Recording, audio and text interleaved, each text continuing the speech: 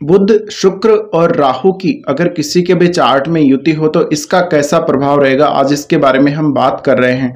इससे पहले हमने और भी काफ़ी सारी युतियों के बारे में बात की है और काफ़ी सारी युतियों के वीडियो अभी बचे हुए भी हैं।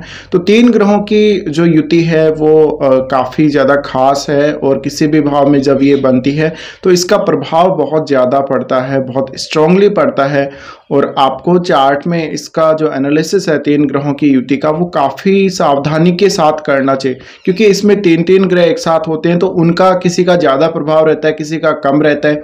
कोई एक ग्रह किसी दूसरे ग्रह की वजह से कभी कभी ज़्यादा प्रभावित हुआ रहता है। ऐसी युति की अगर हम बात करें तो बुद्ध शुक्र और राहु की युति होती है, जिसमें अगर बुद्ध और शुक्र राहु के साथ बैठ जाते हैं तो इन दोनों के ही गुणों में वृद्धि हो जाती है। विशेषकर शुक्र के गुणों में तो बहुत ही ज़्यादा वृद्धि देखने को मिलेगी आप लोगों को। तो जब भी इस प्रकार की युति होगी तो यहाँ पर बुद्ध है तो यहाँ चतुराई भी है, यहाँ पर क्रिएटिविटी भी है नॉलेज भी है, बुद्धि भी है इंटेलिजेंस की जहाँ तक हम बात करें, काफ़ी गहरा इंटेलिजेंस और काफ़ी डीप स्टडी के लिए अगर हम इसको देखें तो काफ़ी अच्छी ये युति है। लेकिन जितनी अच्छी ये युति है, उतनी ही ये खराब युति भी है। क्योंकि इसमें जातक उन चीज़ों की तरफ़ या उन कार्यों की तरफ़ चला जाता है, जिनको समाज या हमारे जो लोग हैं कम्युनिटी में, वो अच्छी नज़र से नहीं देखते जो गंदे कार्य हैं, जो वर्जित कार्य हैं, उनमें ये जातक को फेम देता है। तो इस प्रकार की युति में अक्सर आपने देखा होगा, जो भी पॉर्न स्टार वगैरह जो काम करते हैं फ़िल्म इंडस्ट्री में, या जो ऐसे वर्जित कार्यों की तरफ़ रुझान ज़्यादा रखते हैं तो इस प्रकार की युतियाँ ही उनके चार्ट में अक्सर देखने को मिलेंगी। अब अगर युति इस प्रकार की है तो हम चर्चा तो ज़रूर करेंगे, क्योंकि चर्चा करने में कोई शर्म की बात नहीं है। और जिस प्रकार की युति होगी, जिस प्रकार के उसके प्रभाव होंगे, उस प्रकार की ही हमारी चर्चा भी होगी। तो देखा जाए तो इस युति में आपको यह देखना ज़रूरी है कि शुक्र कितना राहु के नज़दीक है और राहु का जो प्रभाव है वो दोनों पर, बुध और शुक्र पर कितना ज़्यादा पड़ रहा है, कितना कम पड़ रहा है और इस युति में दोनों के बीच में कौन है? तो अक्सर आपको यहाँ पर बीच में राहु भी देखने को मिल सकते हैं, बीच में आपको बुध भी देखने को मिल सकते हैं दोनों के। तो यहाँ आपको इसको ठीक से देखना पड़ेगा। इसके अलावा आपको यहाँ पर बल देखना पड़ेगा, लेकिन यहाँ राहु के साथ होने की वजह से बल तो वैसे भी बहुत ज़्यादा बढ़ जाएगा। तो राहु जब भी इन दोनों के साथ आएँगे, बुध और शुक्र के साथ तो दोनों को ही एम्पलीफाई करेंगे वो, और दोनों के ही गुणों को काफ़ी ज़्यादा बढ़ाएँगे तो जातक इन दोनों से जुड़ी हुई चीज़ों को प्राप्त करने के लिए अपनी पूरी शक्ति लगा देगा, अपनी पूरी क्षमता लगा देगा, वो काफ़ी ज़्यादा ऑब्सेशन में आ जाएगा। इसी तरीके से ये जो युति है, एक फ़िल्म इंडस्ट्री में जातक को बहुत अच्छी फेम दे सकती है। इस प्रकार के जातक बहुत अच्छे सिंगर हो सकते हैं बहुत ही अच्छे डांसर हो सकते हैं, इस प्रकार के जातक बहुत अच्छे इतिहासकार बन सकते हैं, मानव विज्ञानी बन सकते हैं। टैलेंट इनमें एक्स्ट्रा ऑर्डिनरी होगा। तो जो भी आपका लेवल है स्टडी का या जो भी आपकी क्रिएटिविटी का लेवल है, वो असामान्य होगा बहुत ही ज़्यादा। और राहु स्थित होने की वजह से आपको आउट ऑफ़ द बॉक्स चीज़ें मिलने की संभावना रहती है। लेकिन इस युति को हम काफ़ी नकारात्मक नज़रिए से या काफ़ी नकारात्मक दृष्टि से इसलिए भी देखते हैं क्योंकि इसमें जातक ज़्यादातर उन चीज़ों की तरफ़ ही झुका हुआ रहेगा जो वर्जित हैं या जिनके लिए समाज अलाव नहीं करता, जिनको गंदी नज़र से देखा जाता है, बुरी नज़र से देखा जाता है। इसी तरीके से इस प्रकार की युति में जातक विदेशी संस्कृति की तरफ़ सबसे ज़्यादा आकर आकर्षित होगा। वो ड्रग्स की तरफ़ बहुत ज़्यादा आकर्षित होगा, नशा करेगा और खान पान भी उसको ज़्यादातर विदेशी खान पान पसंद होगा।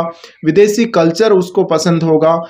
जो रिलेशनशिप में जो लोग विदेशों के लोग हैं, वो जिस प्रकार की आदतें अपनाते हैं, जिस प्रकार के तरीके अपनाते हैं, उस प्रकार के तरीके जातक अपनाएगा। अंतर्जातीय विवाह है love marriage live in relationship इस प्रकार की जो स्थितियाँ हैं, उनमें ज़्यादा जातक का रुझान रहेगा। तो इस प्रकार के जातक कोई ड्रग्स वगैरह का सेवन करने वाले या वो बहुत ज़्यादा नशा करने वाले हो सकते हैं, वो बहुत ज़्यादा ड्रिंक करने वाले हो सकते हैं। तो इस प्रकार के जातकों में बुरी प्रवृत्तियाँ होंगी, लेकिन ये युति क्योंकि बहुत ही स्ट्रॉन्ग प्रभाव क्रिएट करती है।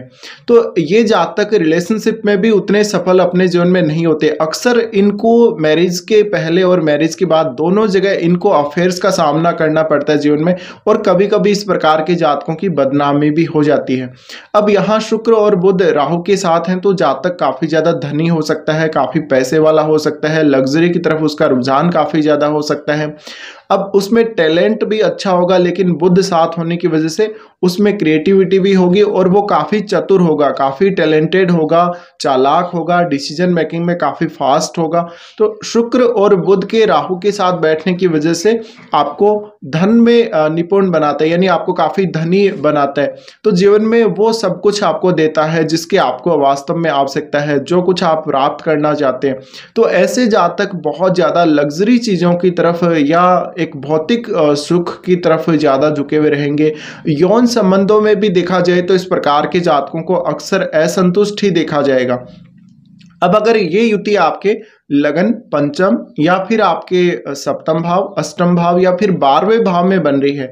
और अगर मान लीजिए इस युति में ज़्यादातर अगर राहु की स्थिति बहुत ज़्यादा खराब है या फिर शुक्र की स्थिति बहुत ज़्यादा खराब है तो ये निश्चित है कि आपको रिलेशनशिप में बहुत ज़्यादा परेशानी का सामना करना पड़ेगा।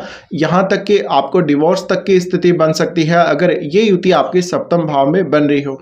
अब जिस भी भाव में ये युति आपके बन रही हो तो उस भाव से संबंधित जो आपको रिज़ल्ट मिलेंगे, वो काफ़ी एक्स्ट्रा ऑर्डिनरी हो सकते हैं। जैसे कि मान लीजिए किसी के लगन में अगर ये युति बन रही हो तो वो काफ़ी ज़्यादा अट्रैक्टिव होगा। यानी नॉर्मल से भी बहुत ज़्यादा अट्रैक्टिव तो लोग काफ़ी अट्रैक्ट होंगे और वो अपोजिट सेक्स को बहुत ज़्यादा अट्रैक्ट करेगा। अब अगर इस प्रकार की युति स्त्रियों की कुंडली में बनती है तो उनको लग्जरी चीज़ों की तरफ़ साज सज्जा की तरफ़ ज़्यादा लेके जाती हैं। और उनमें रोमांस के जो लक्षण हैं काफ़ी ज़्यादा होते हैं। पुरुषों में भी रोमांटिक स्थितियाँ ज़्यादा देखने को मिलेंगी। इसी प्रकार से बुद्ध साथ है तो यहाँ पर कुछ रोमांटिक संवाद भी सामने आ सकते हैं। इसी प्रकार से रोमांटिक कम्युनिकेशन में जातक काफ़ी ज़्यादा लगा हुआ हो सकता है। तो ये युति जितनी अच्छी है, उतनी ही ये खराब युति भी है देखा जाए तो। लेकिन अब आपके चार्ट में ये कौन से भाव में बन रही है कौन सा आपका भाव इससे सबसे ज़्यादा प्रभावित हो रहा है? और इससे ऑपोजिट भाव कौन सा है? यानी जिसके लगन में ये बन रही हो, उसके सप्तम भाव को ये तीनों ही ग्रह देखेंगे तो सप्तम भाव पर भी इसका प्रभाव पड़ेगा। साथ में एक चीज़ और यहाँ पर है, क्योंकि अब ये युति दोनों की राहु के साथ है, शुक्र की और बुध की। तो यहाँ जो इनसे ऑपोजिट भाव होगा, वहाँ केतु होंगे। तो उन चीज़ों को प्राप्त करने के लिए, केतु वाली चीज़ों को गेन करने के लिए, प्राप्त करने के लिए आप काफ़ी ज़्यादा एफर्ट लगाए। जाएँगे बट वहाँ पर आपको कभी भी संतुष्टि नहीं देखने को मिलेगी। तो यहाँ अगर जातक के सप्तम या फिर लगन में ये युति बनती है तो काफ़ी बार जातक को कन्फ्यूज़न में डालती है, काफ़ी बार उसको परेशान भी करती है। हालाँकि काफ़ी कुछ ये युति आपको प्रदान भी करती है। तो ये युति दोनों ही प्रकार से देखा जाए, अच्छी या बुरी तो दोनों ही प्रकार की कही जा सकती है।